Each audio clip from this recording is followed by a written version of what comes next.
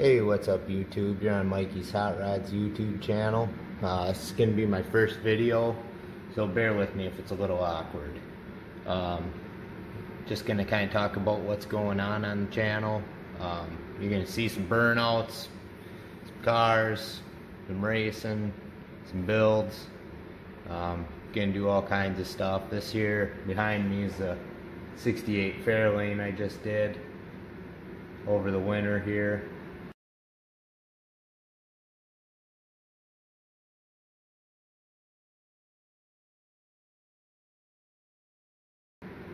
And then uh, did quite a bit of working on this Trans Am too. And uh, they both get drove pretty good, so.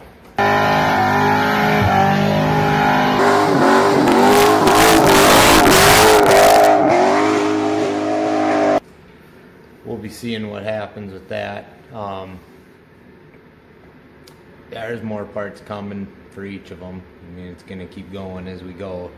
So, got the lift in here now. That's making life a lot easier. Got transmission coming for this Fairlane again.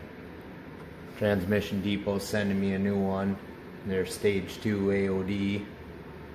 So that'll be going in here within probably the next week. Um, yeah, I can show you the car here. Okay, what we have here is a 1968 Ford Fairlane. Smithco orange. A little paint I mixed up from work. Now the interior's out of a 78 Fairmont. Well, the seats anyway. The rest of it's out of a Fairlane, obviously. Missing a piece of trim on the trunk there yet. I got to come up with.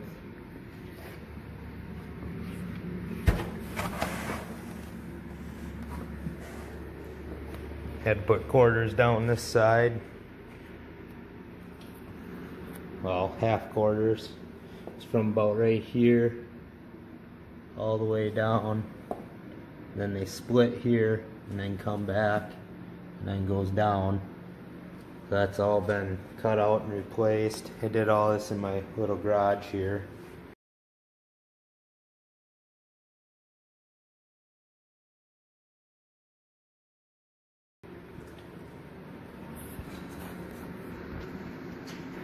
New carpet, sparkle pedals. I did the tach made that myself. The gauge is in the dash there. Yeah, it was a pretty fun little build. Did this all over the winter. Got about six months in it and close to 800 hours in the car. All stainless exhaust from the headers back, Magnaflow, Magnapax, X-Pipe.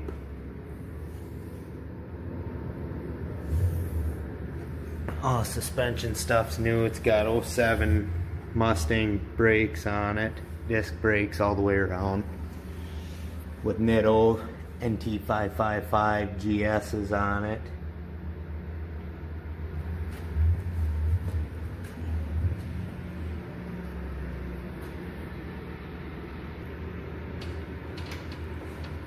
It's a blueprint uh, 306 aluminum heads, uh, blueprints cam, Victor Jr. single plane with a quick fuel slayer carb on it, 600 CFM, it's HEI, aluminum radiator.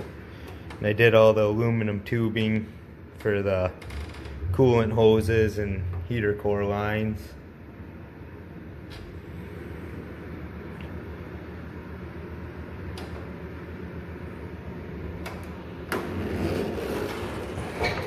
Motor's right around 400 horse, give or take. But it's a pretty fun little car, big car. It's also got the 8.8 in the back with the disc brakes now. It was originally an 8 inch car. So now it's got the 8.8 with 373s and a locker out of an Explorer. And it's got aluminum drive shaft. And that AOD 4 speed automatic. So yeah, it's something ain't quite right with it yet. It shifts pretty lazy in the second and just ain't happy. So I'm gonna get another one coming here and see what it does. And then I got my 96 Trans Am WS6. This has got GMMG exhaust and uh, 410, still a 10 bolt car, but all tubular, everything underneath. Um, Koni shocks, Eibach springs. It's been lightened up quite a bit. Got the drag radials on there that are about had now. They're pretty well shot. I'll be getting some of them coming here. I also did drilled and slotted LS brakes on it because this is actually an LT1 car. But six speed. It's got a Ram stage 2 clutch in it. And touchscreen, full stereo, no back seat. All the inside's been lizard skinned and sound deadened. And then this is a 383 LT1. It's got LE2 heads on it, LE2 intake, fully ported. LE2 cam in it, custom grind cam. This motor's making right over 500 horse. There's some stuff I got to do to this too. It's got a little cutting out problem at high RPM, so gonna try some more things trying to get it figured out so that'll probably be on channel too so yeah I mean that's the kind of stuff we're gonna end up seeing on here just building on these um, yeah whatever. Guess anytime I'm out here anymore I'm gonna, gonna start taping it so.